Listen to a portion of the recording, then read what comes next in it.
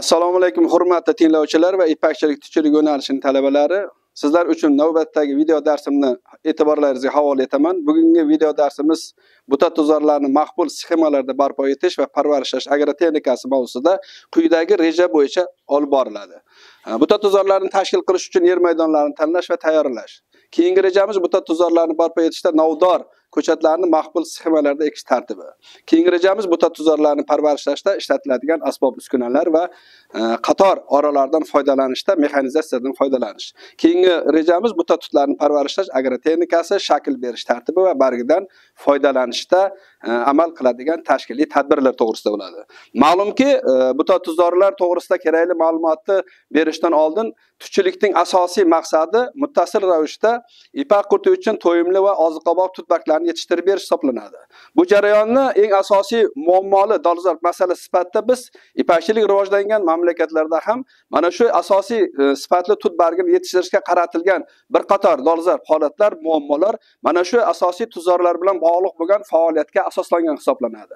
Mana shu borada biz o'rta osiyo sharoitida mana shu buta tuzorlarni umuman tashkil qilish talablari va ularning sxemalari bo'yicha yaponiya xitoy vyetnam tajribalari bilan taqqoslaganimizda bu o'rta osiyo sharoitida albatta bu narsa bu jarayonni tuzorlarni e, bevosita barpo etish o'ziga xos bo'lgan xususiyatlaridan biri tuproqlarning relyefi va iqlim sharoitidagi asosiy o'zgarishlarni mutadil holatdan keskin holatga o'zgarish jarayonlari bilan ham farqlanishini aytib o'tishimiz kerak bo'ladi. Shunga ko'ra biz e, o'rta osiyo sharoitida ya'ni respublikamiz sharoitida bugungi kunda buta tuzorlarni mana shu oltmish yetmish yillik asosiy an'anaga aylangan mana shu faoliyatida ham bugun biz buta tuzorlardan sermahsul e, hosildorligi yuqori bo'lgan asosiy tuzorlar sifatida aytishimiz bevosita mubolag'a bo'lmaydi. Shunga ko'ra buta tuzorlar haqida asosiy tahsinni berishdan oldin umuman yer maydonlarini e, kelib chiqishi va ularni asosiy turlarini e, yo yer maydonlaridagi asosiy holatiga qarab biz uchta turga bo'lamiz. Shundan birinchisi mana shu buta tuzorlarni tashkil etishda asosiy talab bu qator qatorlab ekiladigan tut daraxtlardan farqli qiladigan tomonlari. Keyingisi esa bu asosiy maxsus oziqa beruvchi tuzorlar guruhida turadi buta tuzor. Lekin ixota sifatida uchinchi turga kiradigan asosiy tut daraxtlarini ko'paytirish maxsus tuzorlardagi sxemalar va ularni parvarishlash tadbirlari keskin farq qiladigan asosiy xarakterli belgilari sifatida aytishimiz mumkin bo'ladi.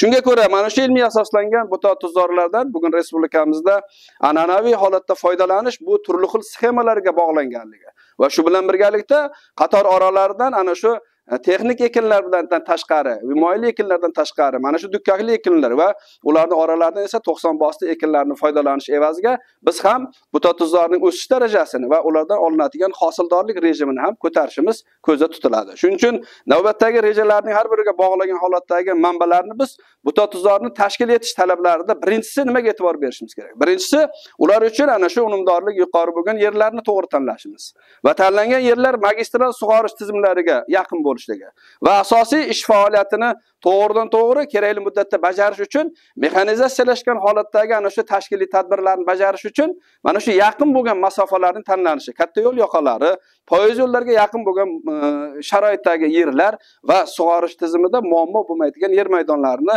biz tanlasak maqsadga muvofiq deyishimiz mumkin bo'ladi. Shunga ko'ra mana shu tadbirlarni asosiy maqsadi bugungi kunda yerni tayyorlash va ularga mana shu e, buta tuzlarni tashkil qilish uchun e, yetarli darajadagi tashkiliy tadbirlar mana shu fevral oyidan toki respublikamizning mana shu o'rta iqlimli sharoiti bilan shimoliy mintaqalarigacha mart oyigacha yer tayyorlash ishlari o'z muddatida bajarilishi lozim hisoblanadi. Mana shunga ko'ra biz tayyor bo'lgan yerlarga asosiy bugungi kunda butasimon tuzorlarni tashkil qilishni e, olimlarimiz tomonidan ilmiy asoslangan sxemalari bu ishlab chiqarishga tavsiya etilgan. Bu o'z navbatida asosiy ikkita guruhga bo'linadi. Tor qatorli buta tuzorlar va keng qatorli buta tuzorlar. Nimaga ikkita turdagi asosiy mana shu sxema bugungi kunda respublikamizda qo'llanilyapti? Chunki tor qatorli buta tuzorlardan biz yetarli darajadagi hosilga ega bo'lishimiz bilan birgalikda ishlov berish jarayonlarida ma'lum bir agrotexnik faoliyatlar mana shu yerning relyefiga yerning asosiy joylashish holatiga qarab tanlanadi. Va ekiladigan ko'chatlar ham mana shu e, ekish sxemasi asosida bir gektarga qancha ketish holati biz avvalo tayyorlangan yerlarning asosiy bevosita strategik holatdagi joylashuvi va ularning ana shu bonitet baliga bog'liq bo'lgan yerning asosiy e, tuzilish strukturasiga qarab ularni biz ekish tanlashimiz kerak bo'ladi. Shunga ko'ra bugungi kunda biz asosan tor qatorli sxemalardan ikkitasini tavsiya etyapmiz keng qatorli sxemalardan esa bitta sxemani tavsiya etyapmiz. Bu ham namuna sifatida ham bugungi kunda ko'proq mana shu ishlab chiqarishda qo'llanilayotgan sxemalardan aytishimiz mumkin bo'ladi.